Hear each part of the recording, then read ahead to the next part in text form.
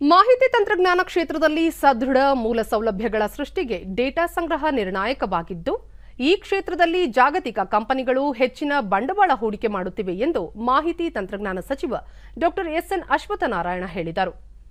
ಬೆಂಗಳೂರಿನಲ್ಲಿ ಖಾಸಗಿ ಕಂಪನಿಯ ಅತ್ಯಾಧುನಿಕ ಸಂಶೋಧನಾ ಮತ್ತು ಅಭಿವೃದ್ಧಿ ಕೇಂದ್ರವನ್ನು ಉದ್ಘಾಟಿಸಿದ ಬಳಿಕ ಸಚಿವರು, ತಾಂತ್ರಿಕ ಉತ್ಪಾದನೆ, ಸೇವೆ ಹಾಗೂ ನಿರ್ವಹಣಾ ಕ್ಷೇತ್ರದಲ್ಲಿ ಭಾರತ ವಿಶ್ವದ ತೊಟ್ಟಿಲಾಗಬೇಕು ಎಂಬ ಮಹತ್ವಾಕಾಂಕ್ಷೆಯೊಂದಿಗೆ ಸರ್ಕಾರಗಳು ಕೆಲಸ ಮಾಡುತ್ತಿವೆ ಎಂದರು.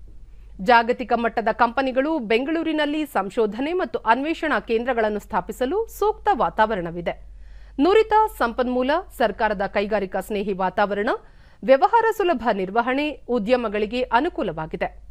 ಡೇಟಾ ನಿರ್ವಹಣೆಯಲ್ಲಿ ದೇಶಾದ್ಯಂತ ಸುಮಾರು ಏಳು ಲಕ್ಷ ಮಂದಿ ತೊಡಗಿಸಿಕೊಂಡಿದ್ದು, ಬೆಂಗಳೂರಿನಲ್ಲಿ ಹೆಚ್ಚಿನ ಉದ್ಯೋಗಿಗಳಿದ್ದಾರೆ. ಮುಂದಿನ ದಿನಗಳಲ್ಲಿ ಈ ಸಂಖ್ಯೆ ಮತ್ತಷ್ಟು ಹೆಚ್ಚಾಗಿ ಜಾಗತಿಕ ಸ್ಪರ್ಧೆ ಎದುರಿಸಲು ಸಮರ್ಥವಾಗಲಿದೆ ಎಂದರು.